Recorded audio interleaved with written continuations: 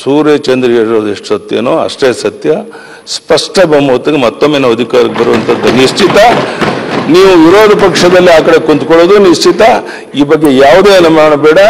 ನಾನು ಈ ಭಾಗದ ಶಾಸಕರಿಗೆ ವಿನಂತಿ ಮಾಡ್ತೇನೆ, ಇವತ್ತಿನಿಂದ ನಾಳೆ ಅಧಿವೇಶನ ಮುಗಿದ ಮೇಲೆ ನಾನು ರಾಜ್ಯದ ಉದ್ದಗಳಿಗೆ ಎಲ್ಲ ಕಡೆ ನಾನು ಬರ್ತೇನೆ.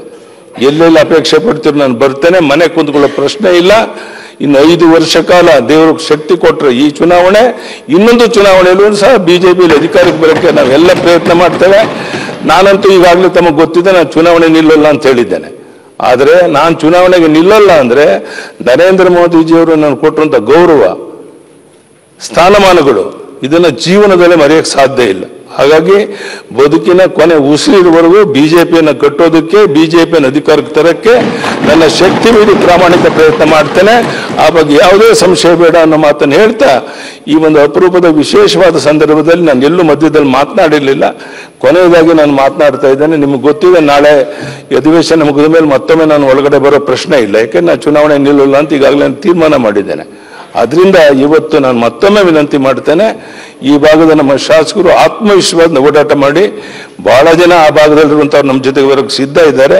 ನೀವು ವಿಶ್ವಾಸನ ಇದ್ದರೆ ಅವರೆಲ್ಲರನ್ನ ಜೊತೆಗೆ ತಗೊಂಡು ಮತ್ತೊಮ್ಮೆ ಸ್ಪಷ್ಟ ಬಹುಮತದೊಂದಿಗೆ ಪಿನ ಅಧಿಕಾರಕ್ಕೆ ತರೋಣ ಅನ್ನೋ ಮಾತನ್ನು ಹೇಳ್ತಾ, ಈ ವಿಶೇಷವಾದ ಸಂದರ್ಭದಲ್ಲಿ ನಾನು ಮಾತನಾಡೋಕ್ಕೆ ಅವಕಾಶ ಮಾಡಿಕೊಟ್ಟಂಥ ಅಧ್ಯಕ್ಷರಿಗೆ, ನಮ್ಮೆಲ್ಲ ಸದಸ್ಯರಿಗೆ ಒಂದು ರೀತಿ ವಿದಾಯ ಇದು.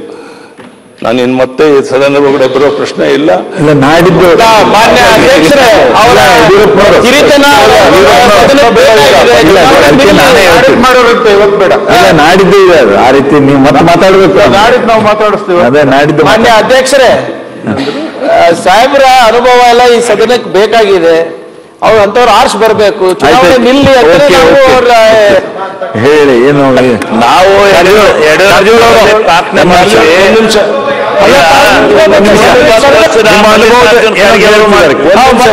ಸದನಕ್ಕೆ ಬರ್ಬೇಕು ಸರ್ ಕೇಳಿ ಕೇಳಿ ಶಿವಲಿಂಗೇಗೌಡ್ರೆ ಬರ್ಬೇಕು ಗೆಲ್ತೀರಿ ಗೆದ್ದು ಬರಬೇಕು ನಿಮ್ಮ ಸಹಕಾರ ಕೇಳೋಣ. ನಿಮ್ಮ ಅನುಭವ ಬೇಕು ನೀವು ದಯಮಾಡಿ ಗೆಲ್ಬೇಕು ನಿಲ್ಬೇಕು ಚುನಾವಣೆಗೆ ನಿಲ್ಬೇಕು ಸರ್ ಡೆಲ್ಲಿ ಅವ್ರ ಮಾತು